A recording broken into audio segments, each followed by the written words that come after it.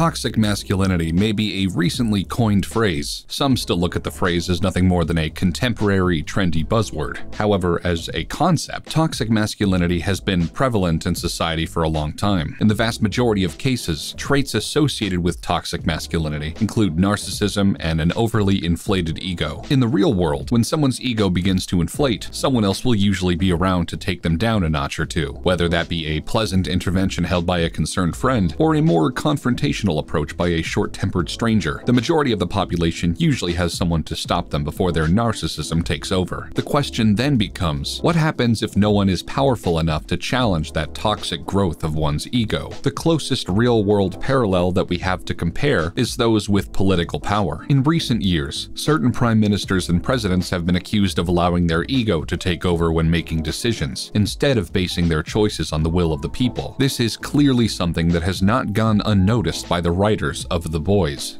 Uh, I'm sorry. Why is that there? Uh, sorry? Who put the fucking blanket on the bed? Randy Setdeck? Who's Randy think? Setdeck? He's, he's over there. Randy, why? You hole. Amateur. What just happened? One of the key things which makes the Amazon Prime adaptation of The Boys so great is how they took an already solid piece of source material in the form of The Boys comics by Garth Ennis and expanded on it. The main goal of the comic was to explore what superheroes would look like in the real world. How would superpowered beings be viewed in the eyes of the common man? Would they be regarded as deities, as celebrities, as political figures? Would they ever have the best interests of humanity in mind, given how disconnected they are from it? In an article by the Digital Fix, showrunner for The Boys, Eric Kripke, explained that Garth Ennis told him what his goal was when he first wrote The Boys comic. When I first got the job, I had dinner with Garth Ennis, and I asked him, what inspired you to make it? And he said, I was interested about what would happen if you combined the worst of politics with the worst of celebrity, and he wrote it in 2006. The Boys comic book worked as an examination and criticism of the superhero genre. It forced comic book creators and fans alike to reconsider all-time classic characters such as Superman. It held a mirror up to what was still a fairly niche market at the time. Superhero fandom has exploded since then. These movies and shows are now mainstream money-making properties, beloved by children and adults alike. There are now more eyes on the superhero genre than there ever was before, and The Boys TV adaptation takes advantage of that. It reflects upon certain trends in the superhero genre, just as successfully as the comics did. However, it also manages to do so much more than that. The TV show examines celebrity culture, the entertainment industry, and modern society as a whole. It parallels both the on-screen worlds of Marvel and DC, whilst also working as an allegory for socio-political issues which we are facing in real life in the Western world, and it does it in a way which never feels too on the nose. The Boys TV show even goes as far as to use one of those common socio-political issues as a crux on which the entire dynamic of the show is based around, the toxic masculinity and unchecked narcissism displayed by men in positions of power. Even when the show's main protagonist is guilty of displaying several of these qualities, Billy Butcher pushes his emotions down inside while behaving in an aggressive and confrontational way, whether the situation calls for that type of antagonistic behavior or not. With that said, he seems to get a pass, partially because he is an anti-hero, also known as a character who you aren't ever really supposed to side with completely. Questionable morals and the ability to do what others can't in the name of the greater good are two major elements which make Billy's character so entertaining to watch. Concessions are also made for Billy because he's not technically a soup, even if Mother's Milk does hold a stubborn grudge against the fact that he used a temp V in the most recent season to try and level the playing field. He lacks the extreme sense of superiority, which one needs to really embody a stereotypical soup. During the most recent season of the show, we did see Billy's narcissism among his own team exemplified when we witnessed Billy prioritizing his own personal revenge quest against Homelander over Mother's Milk's equally important desire for revenge on Soldier Boy. While Billy may believe that his opinion is the most important one among his crew, Homelander believes that his say is more important than anyone else's on planet Earth. Therefore, Billy is still able to be considered the underdog when he goes toe-to-toe with other superpowered characters, despite his obvious narcissistic traits. Jensen Ackles joined the cast for the most recent season of the show to portray Soldier Boy, just as Homelander is an examination of how a Superman may really behave with within our universe. Soldier Boy serves the same purpose, but for Captain America. And yes, unfortunately, that comes with all the bigotry and tough guy nonsense which was so prevalent in the first half of the 20th century. Do men really walk around like that? Yeah, I mean, uh, dads do. Okay, well, Bill Cosby is America's dad, and I'll tell you one thing, he wouldn't be caught dead in that gear. Lots to unpack there. Um, Cos. That's a real man. Holy did he make some strong drinks. Ackles nails the role as a man who has put up a strong, unwavering front for his entire life, even convincing himself that he is a real man. Although we learn that he wasn't actually there during the storming of D-Day, he just showed up in the aftermath for a photo op. Instead of confronting his painfully obvious PTSD and other mental demons, he would much rather smoke pot to suppress the emotional turmoil inside him and focus on completing the mission, regardless of the cost. He shows no concern for innocents caught in the crossfire of war, and seems to share Sean Connery's horrifically dated views on normalizing domestic abuse. You think it's good to slap a woman? No, I don't think it's good. You don't think it's bad, It that bad. I think that it depends entirely on the circumstances and if it merits it. Yeah. What would merit it? Well, if you have tried everything else, and women are pretty good at this, they, they can't leave it alone. Yeah? They don't they want to have the, the, the last word, and you give them the last, last word, but they're not happy with the last word. They want to say it again and get into a really provocative situation. Then I think it's absolutely right.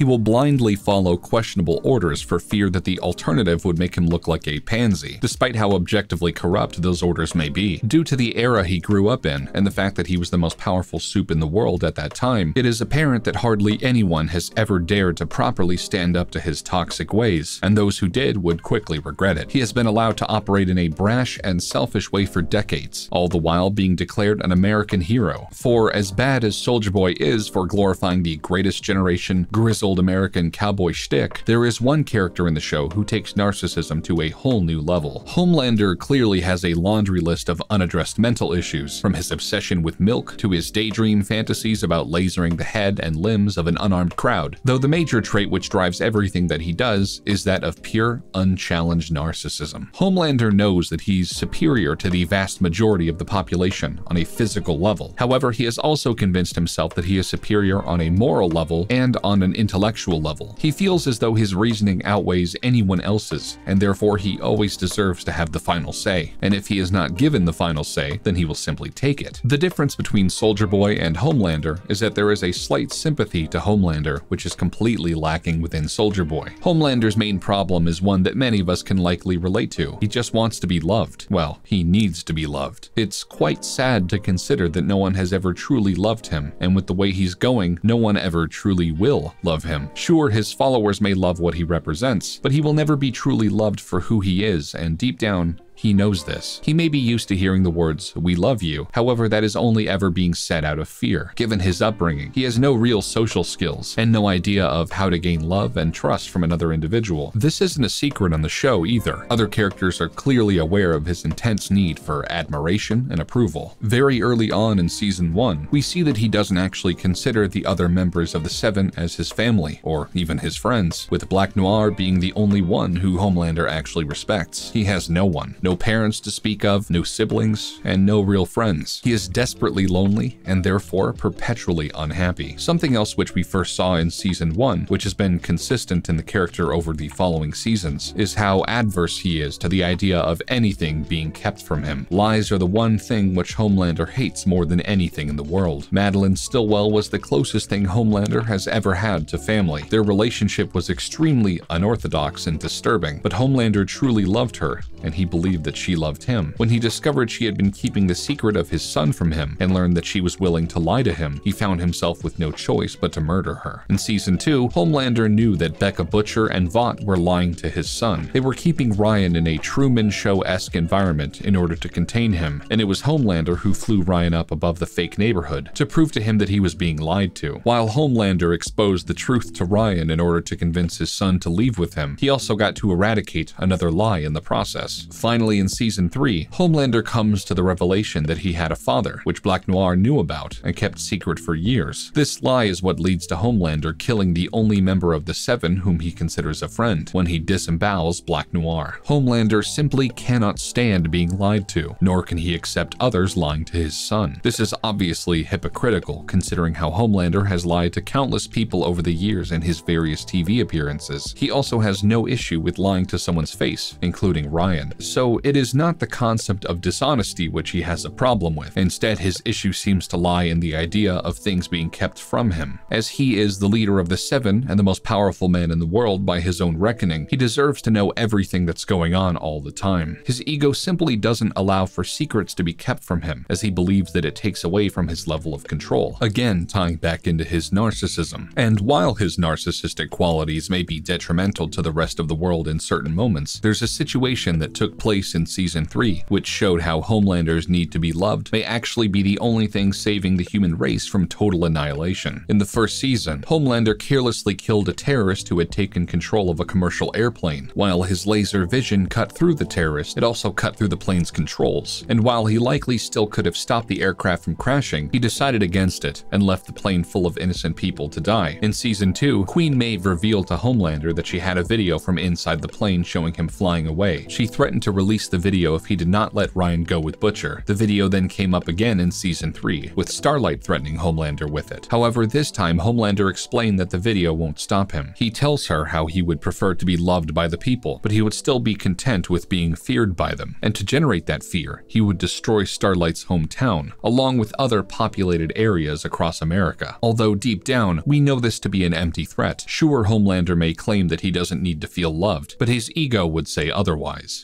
Narcissists in the real world require constant admiration, and Homelander is no different. Season 3 also marked the first time that we saw Homelander display fear. After he sustained a bruise during the Herogasm battle, he used concealer to cover the mark when he went to threaten Maeve. She points it out during their conversation, and for a brief, fleeting moment, Homelander goes from being the one with control to a petrified child. Just as narcissists in the real world are utterly terrified of being thought of as weak, so is Homelander. Despite the fact that deep down he is harboring this childlike fear within him, he feels as though he must constantly project this false image of unwavering strength to the rest of the world. All of this works together to show how great a job The Boys does of examining what happens when complete narcissism is allowed to grow and go totally unchecked. Eric Kripke actually summed up the entire concept at another point in the same interview with the Digital Fix that was mentioned earlier when he detailed just how big the theme of toxic masculine narcissism was when it came to plotting and writing the characters' arcs in the show. For me, the meta big theme becomes this meditation on toxic masculinity, and that's where the tone falls over a lot of the stories. It falls over Butcher's relationship with Ryan, and it falls over Homelander, constantly having to front as strong. That's all for today, and as always, thanks for watching, and stay tuned for more absolutely diabolical content coming to the channel. And if you like the work FandomWire is doing, be sure to visit our affiliate link at Humble, where you can purchase and play games for a great low price while supporting us and allowing us to make more quality content like this. Until next time, thanks for watching.